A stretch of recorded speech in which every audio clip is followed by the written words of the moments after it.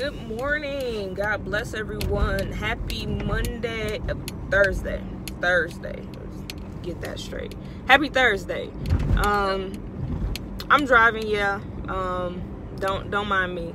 Um, I, I I just wanted to share. What if what if you knew there was no way that you can lose? That's impossible. You can't be defeated. If you knew that no matter what it looks like, no matter what it seems like, you have the victory, you win. Well, my, my, my people, I've come on this morning to tell you that no matter what it looks like, no matter what it seems like, you win. It is impossible for you to lose. Why? Because you're a joint heir with Christ Jesus and he never lost. He never, he, he never lost which means you can't lose. Doesn't matter what the enemy brings against you, what he says about you, what he says that you are. You cannot listen because he wants to sit in the seat of your emotions. He wants to be the driver. He wants to take the words place in your life and sit there and rule and reign and dictate your emotions and your feelings to make you feel like you can't win. There is no victory. You can't get out of this situation. You can't overcome. You won't win. But the word says we overcome by the blood of the Lamb and the word of our testimony. The blood that Jesus shed and the word of the testimony about what that blood has done. That blood has caused me to overcome. That blood has lifted up my head. That blood has covered me. That blood protects me. That blood leads and guides me. That blood is all on me. That blood it still speaks. It still has power and it's still speaking on our behalf. So, right now, I just want you to know that there is no way you can lose. It is impossible. The word says, I can do all things through Christ, which strengthens me. He makes all things possible, He makes everything possible. With Him and through Him, all things are possible. In him we move and have our being. All things are possible because of him, which means you can't defeat me. When Jesus rose on the third day with all power, with all power, with all power, because I'm seated in him, because I'm seated in heavenly places in Christ Jesus, that same power that he has, I now have. That same ability that he has, I now have. I now have.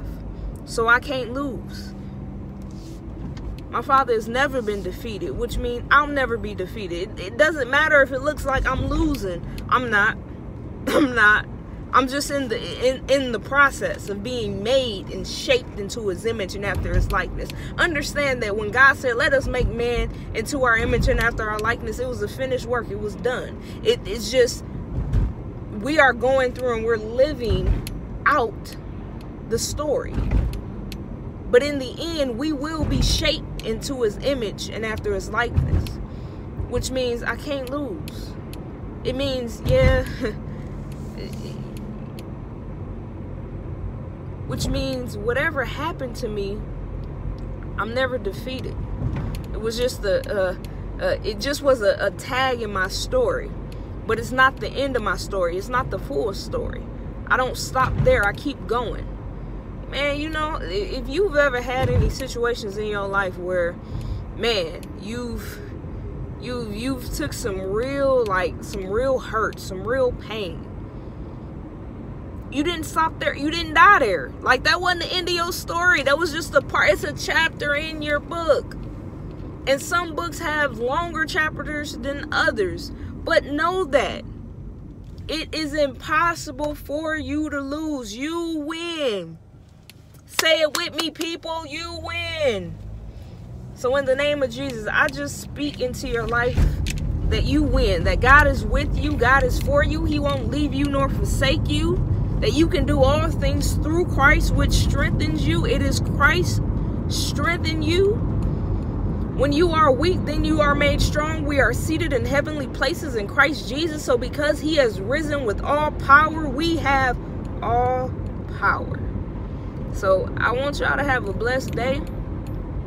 Keep holding on, keep pressing, keep fighting, keep believing, keep trusting God. And when you feel like you at your weakest, just start to thank Him for everything He's done, and you'll feel a new strength. Uh, God bless you all. Have a great day.